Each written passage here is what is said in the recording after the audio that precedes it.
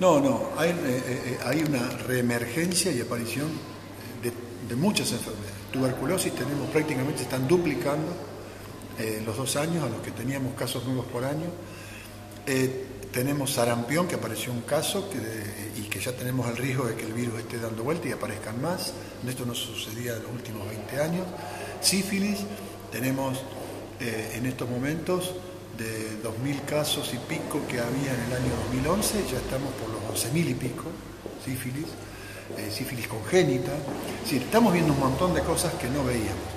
HIV, tenemos, eh, en este momento somos el país en el mundo per cápita que más casos de HIV nuevos tenemos por año, 6.500. Estos son todos datos oficiales de este gobierno. ¿eh? No, la mortalidad infantil dejó de caer y empezó a subir eh, todos esos son indicadores muy claros de que está pasando algo y, que todavía lo que viene es peor, porque en el año 2016 todavía había programas vigentes que no se habían desarmado, eh, funcionaban muchas guardias, neonatologías en los hospitales que hoy se han desarmado, etcétera, etcétera. Es decir, venimos para atrás, pero no es ninguna casualidad, venimos para atrás por una causalidad.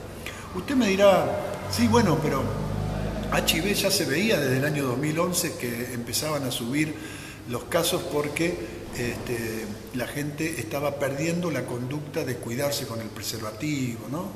Eh, bueno, es cierto, eh, nosotros entonces ante esa situación iniciamos varios programas más de prevención y promoción y entregábamos, por ejemplo, 75 millones de preservativos por año.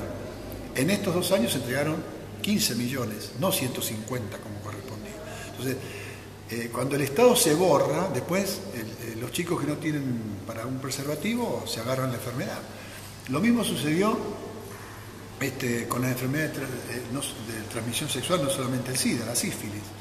Eh, también con los embarazos eh, no deseados o no, buscados, porque el gobierno este, reconocido oficialmente repartió el 27% de los anticonceptivos de todo tipo que repartíamos nosotros. Entonces, todo lo que está ante enfermedades que venían ya demostrando un comportamiento determinado, en lugar de acrecentar las acciones de salud para prevenir, la sacamos.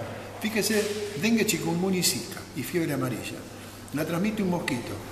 Desarmaron todos los equipos de salud que, que prevenían en el territorio los criaderos de los mosquitos. 627 trabajadores que iban manzana por manzana, sobre todo en los barrios más humildes, retirando todos los criaderos mosquitos, capacitando a la fuerza de seguridad, capacitando a la sociedad civil, capacitando a, las ONG, etcétera, para que toda la colectividad se, este, la comunidad se este, abocara a esto. Lo desarmaron todo, entonces bueno, ahora tenemos casos, y en estos días de calor y humedad más casos.